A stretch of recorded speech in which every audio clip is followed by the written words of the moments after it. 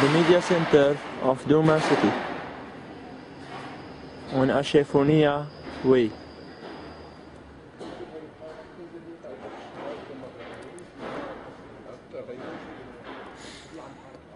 Destruction from